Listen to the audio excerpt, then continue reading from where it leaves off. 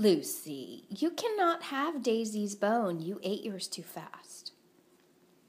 Daisy's still working on hers. Aren't you, Daisy? Daisy's the good dog. What do we have to say about you? What?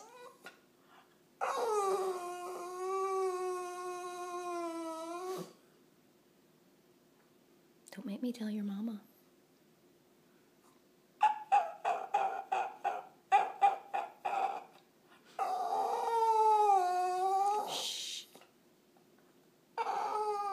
Don't ask for Kyle's attention.